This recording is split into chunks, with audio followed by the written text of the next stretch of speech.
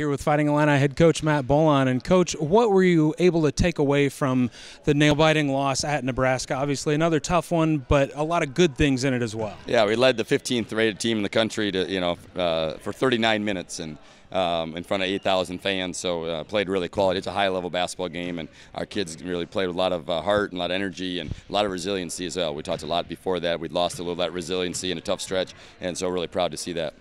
It seemed like one way that really showed itself was the team's ability not to affect bad things on offense, turnovers, missed shots, affect their defense. They really brought it all night on the defensive end. Yeah, it's one of the things we noticed. You know, they carry themselves differently after they made a shot, and you could see the possessions in our body language a little bit when we didn't score, we turned it over. So we talked about that in the film session, and they were much better than that looking ahead to Wisconsin on Sunday. Um, obviously, a great chance to get off the schneid and kind of get the, get things righted, headed back into the second half of Big Ten play.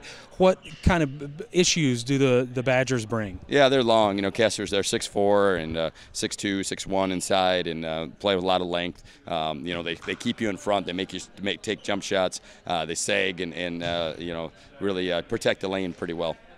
What you, with that instead, what do you feel like are a couple of keys um, for the team to have success in that game? Yeah, I think just getting the right shot, moving the basketball, and uh, making the defense have to shift, to swing the sag, and then be able to knock down open shots. You know, because they, they really try to keep you in front and, and make you shoot the outside, and then when you if you knock down some threes, then it's a lot tougher for them to guard.